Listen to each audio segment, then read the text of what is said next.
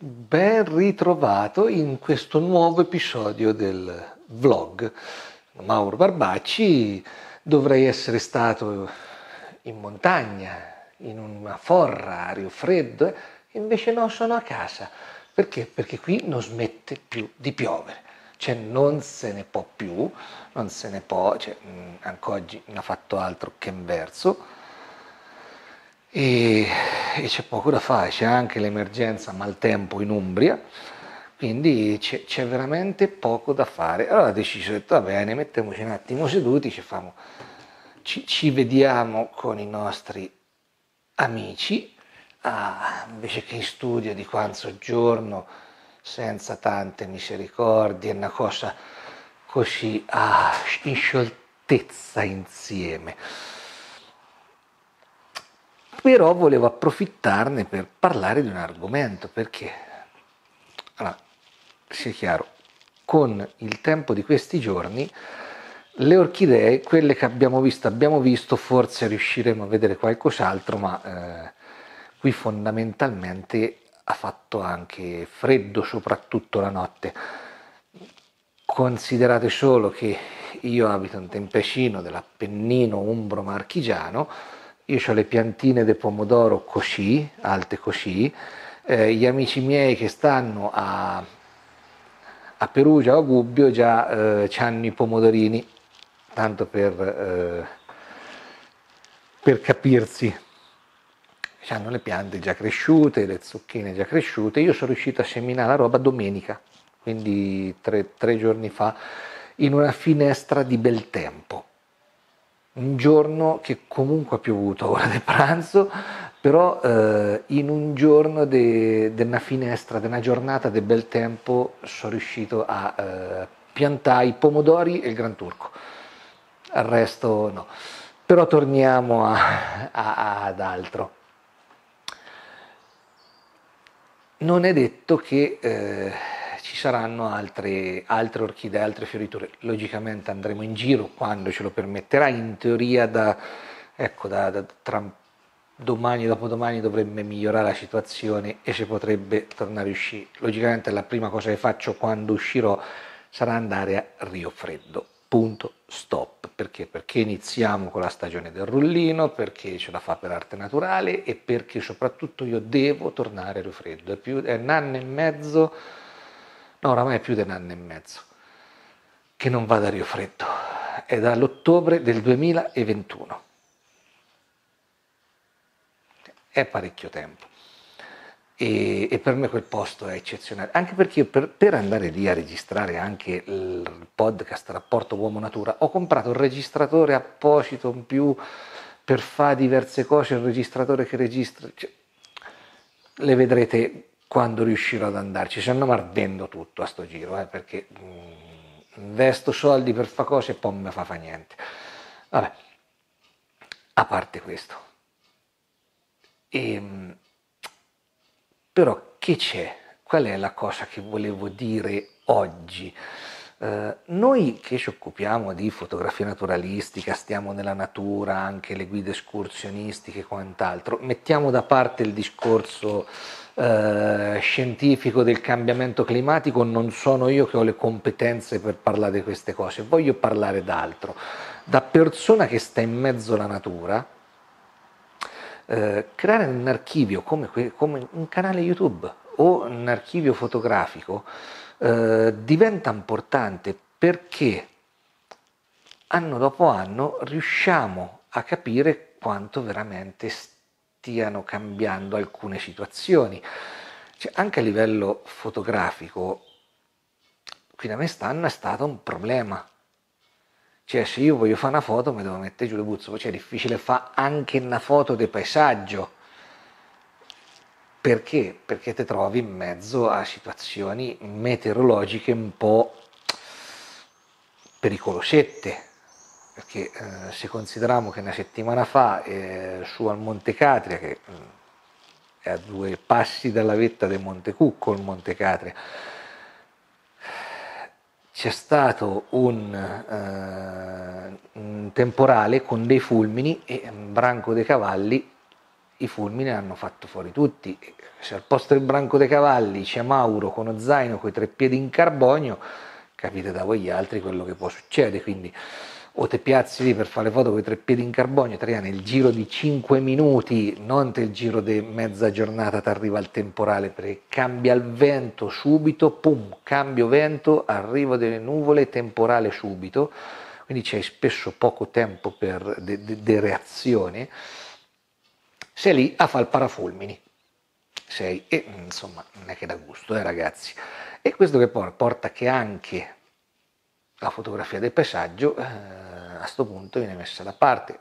Fotografia macro, ne parliamo, cioè, se in c'ho i fiori, in c'ho gli insetti, in c'ho questo, in c'ho quell'altro, parlo del mio territorio, eh, Appennino Umbro Marchigiano, se mi trovo in difficoltà a trovare le cose, quella, quello che ho potuto fare ve l'ho fatto vedere nei video.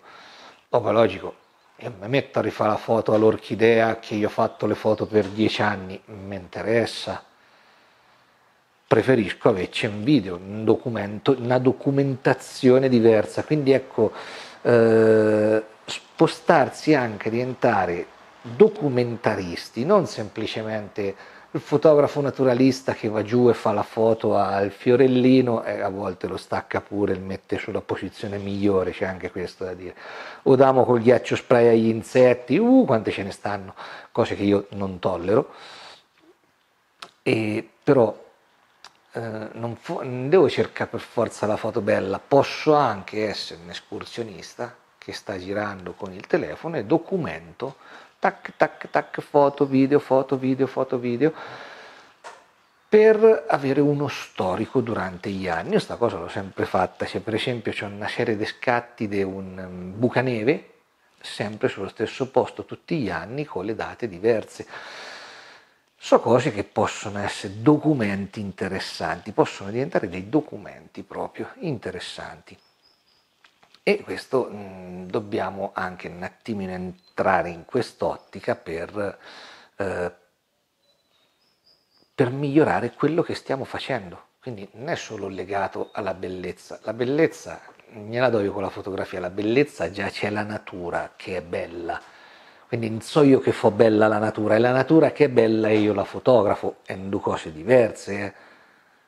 perché io non miglioro la bellezza della natura, la documento al limite, in modo piuttosto che in altro, ma già è bella del suo, se io via senza macchina fotografica me la guardo, me guardo un'orchidea, già è bella del suo, a meno che dopo non la raccolgo, la metto in un altro punto con uno sfondo migliore, tutto perché quella è un altro par di maniche, ne voglio nemmeno parlare di queste cose.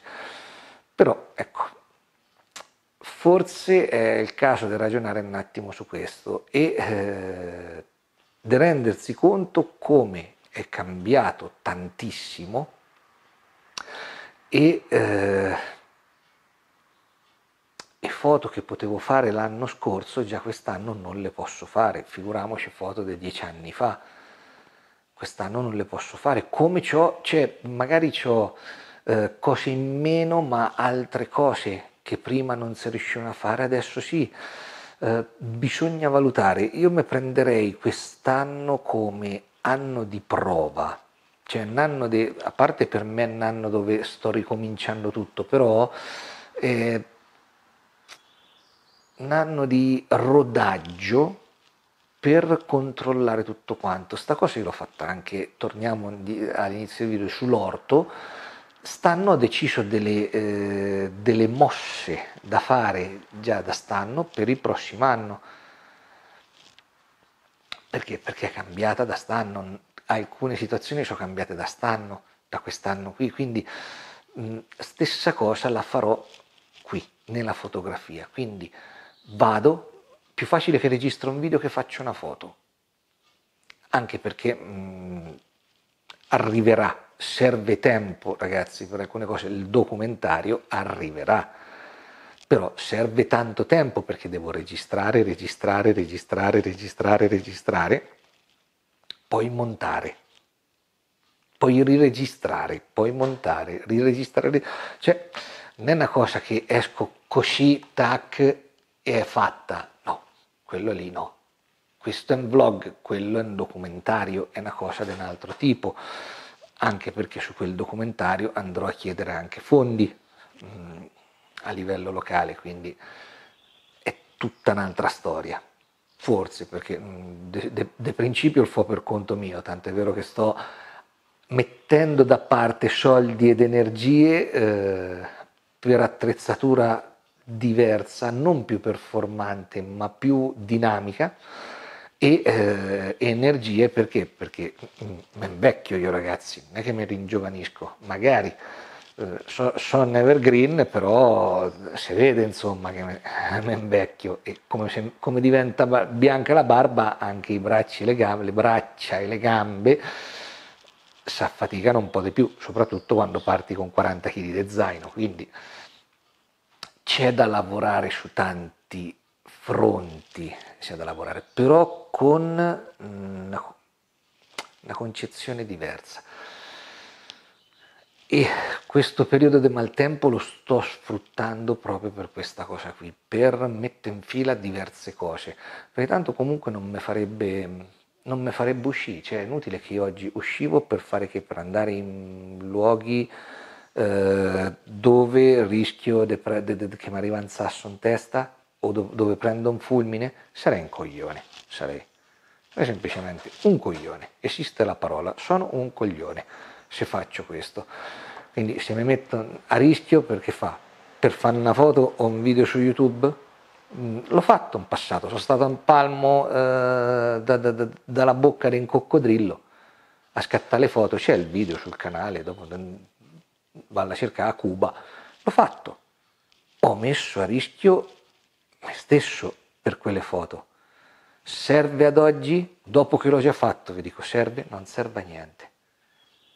Non serve assolutamente a niente. Perché? Semplicemente perché eh, diventare i più bravi del cimitero è come diventare i più ricchi del cimitero. Non serve a niente. Quindi ci siamo capiti. Va bene, detto questo, se è vero che la prossima settimana il meteo migliora, andiamo finalmente a Rio Freddo e come avevo già annunciato ci saranno eh, dei video a Rio Freddo dove non sarò solo e saranno molto interessanti, molto ma molto ma molto interessanti. E, ebbene, comunque in tutto ciò io sto lavorando insieme alla mia compagna anche per un'importante raccolta fondi eh, per il magico mondo di Melania qui per il territorio, ma adesso non vi dico niente, tanto registreremo altri video con, con Erika e li caricheremo sul canale. Invece quello sì, iscrivetevi qui al canale e in descrizione trovate anche il link al canale Il Magico Mondo di Melania. Andate ed iscrivetevi perché è molto importante, anche solo con iscrizione sostenete la nostra associazione. Sostenete. Quindi ragazzi è stato un piacere come sempre, ci siamo fatti quattro chiacchiere ci vediamo molto presto. Ciao!